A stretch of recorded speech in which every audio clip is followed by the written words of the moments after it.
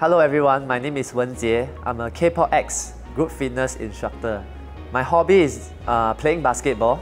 Uh, basketball is my favorite, yes, and I love watching NBA. Okay, I started off as a participant whereby I joined together with my wife to work out in 2015. Uh, my wife loves K-pop and I also love K-pop. So I think the dance is dance move is very easy. Uh, so it's, uh, it's like an aerobic dance. So we can exercise and enjoy the song at the same time.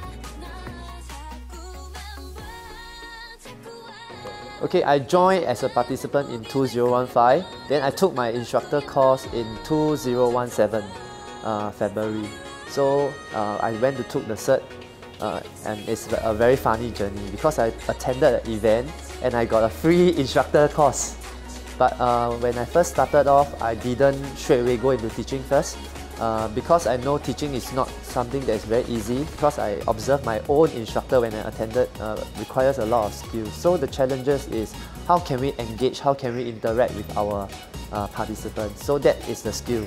And also at the same time we have to remember the dance move, we have to also remember the beat of the music, you give instructions, everything at one go is going is like multitasking, it's not easy. So before I really started teaching, I went to uh, practice with my group of instructors first, the new, we call so-called the newbie instructors.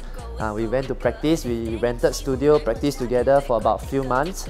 Then where, that's when I have a first cover class, going out of my comfort zone to try it out. Uh, ever since uh, 2017 when I took the cert uh, in February, uh, I, it takes a while for me to, to start off. Every lesson is a learning point for me. I mean like every day is a learning day.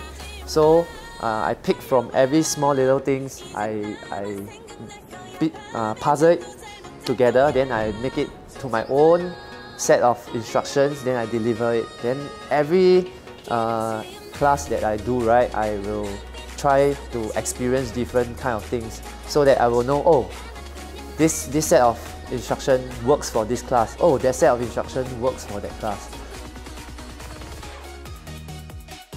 Lowest point is because when I really actually step into uh, teaching in community centers, we, we, we are required to pass an assessment. So I failed the assessment once. So it's a little bit uh, demoralizing. But that doesn't mean it's the end of the world. So I continue, I persevere, then I went to take the assessment again and I passed. And that's where I'm now here today. Yeah. I got promoted from being a, a, normal trainer to become a mentor which I can assess new trainer and now I'm an educator so which means I can certify new instructors. I attended also a presentation like the, the anniversary of my company.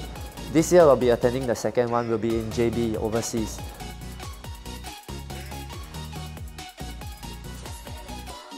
Success is when you, you do something, you achieve it, achieve what you want uh, is a, a, part of success. But if you want to get a real success, right, is to me, uh, every day you have different kind of success.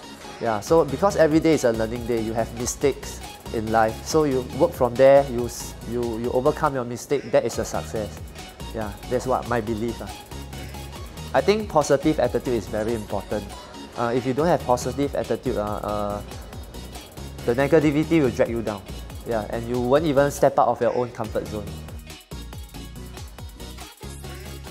If you have a will, you will have a way. So if you want to achieve success, you need to persevere, okay, and stay positive. Fighting!